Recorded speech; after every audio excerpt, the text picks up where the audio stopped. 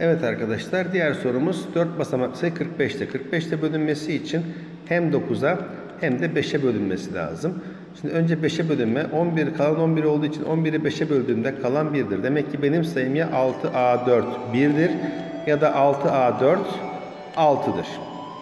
Bu bitti. Şimdi 9'da bölünmeye gelelim. 9'da bölünme kuralı rakamlar toplamı 9'un katı olacak. E, 11'i 9'a böldüğümde kalan 11'i 2. Demek ki 2 kalanı veren sayıyı arıyorum. 6, 10, 11. 11'i 9'a böldüğümde kalan 2 olduğuna göre A sayısı 0 ya da 9 olmalı. Buraya geldik. 6, 10, 16. 16 sayısının tam bölünmesi, e, pardon 9 bölümünde kalan 2 olması için A'nın 4 olması lazım. İşte bu 3 sayıyı topladığımızda cevabımız 13 olarak çıkmış olur. Evet gelelim diğer soruya. 30 ile bölümünden kalan 19. O zaman birler hem 10'a hem 3'e bölünmek zorunda.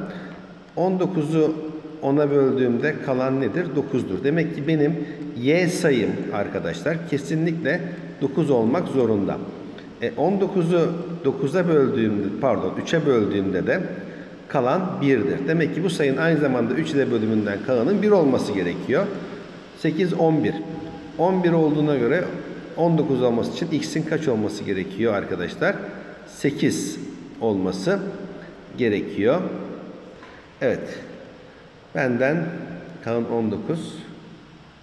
3. Pardon aklım 9'a bölünmeye gitti. Özür dilerim. Bir hata yaptık. Hemen toparlayalım. Pardon. Olur böyle şeyler. Evet 3'e bölündü. 8 ile bölümünden kalanın 1 olması için bunun 2, 5 ve 8 olması lazım. Bunları topladığımızda cevabımız 15 olarak çıkar. Hemen bir diğer soruya gelelim. Yine benzer bir soru arkadaşlar. 15'e bölünmesi için hem 5'e hem 3'e bölünmesi lazım. Kalan 13.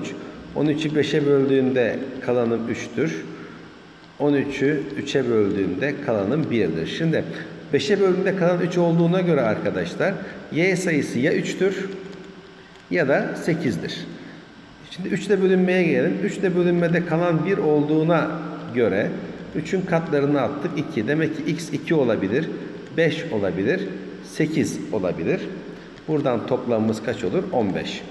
Ee, 3 ile bölünmede kalanın 1 olması için arkadaşlar 8 2 daha 10 yapar. 10'da 3'e bölersek kalan 1'dir. Demek ki bu da 0, 3, 6, 9 demektir. Bunların toplamı da 18'dir. Bu ikisini toplarsak cevabımız 33 olarak bulunmuş olur. Evet gelelim artık son sorularımıza. Arkadaşlar diyor ki bir x sayısı 41 ile bölündüğünde bölüm 45 kalan da 37 ise bu sayının 15 ile bölümünden kalan. Arkadaşlar bir çarpıp 37 ekleyip 15'e bölebilirsiniz. Fakat bunu tavsiye etmiyorum. Bunun yerine zaten bakın arkadaşlar 15 çarpanı benim içinde var mı? Demek ki ben bunu 37'ye 2 çarpı 15 artı 7 şeklinde yaparsam işte benim kalanım arkadaşlar kaçtır? 7'dir. Zaten burada 15'in çarpanlarından ya da 41'in çarpanlarından 41 asal gerçi bunlardan birini vermek zorunda. Geldik diyor ki 15 ile tam bölünebilen 3 basamaklı en küçük pozitif sayı hem 5'e hem 3'e bölünecek. O zaman benim sayım herhalde 105 olur. 105 5'e bölünüyor ve 3'e de bölünüyor. Tamam oldu. Bunun diyor arkadaşlar x'ye yani 10 ile bölümü. E arkadaşlar zaten bunun kolay yani 10 kere var belli yani bunun olduğu 100. Kalanımız kaçtır? 5'tir. Son derece basit bir soru. Ve son sorumuza geldik arkadaşlar. Son soru x çarpı y'nin 10 ile bölümünden kalan a, x çarpı y'nin 3 ile bölümünden kalan b toplamlarından. x sayısının arkadaşlar 10 ile bölümünden kalan kaçtır? 3'tür. y sayısının 10 ile bölümünden kalan 4'tür. Birler basamağı. E çarpımlarının bölümünden kalan kaçtır? 12. Demek ki a sayısı neymiş? 12'ymiş. Tabii 12 dersek olmaz değil mi arkadaşlar? Ne olacak? 2 olacak. Çarpımları 12. 12 ona bölersek kalan 2'dir. Şimdi gelelim diğerine. 3 ile bölünme. 3 ile bölünme 2, 4 daha 6. 3, 5, 2 daha 7. Demek ki x sayısının 3 ile bölümünden kalan 1'miş. 6, 5, 1 daha 6, 3, 4. 4'ün 3 ile bölümünden kalan 1. Dolayısıyla y sayısının da 3 ile bölümünden kalan 1'miş. E bunların da çarpımı gene 1 olduğu için B sayısı da 1 olacak. O zaman bunları toplarsak cevabımız 3 olarak bulunmuş olur arkadaşlar.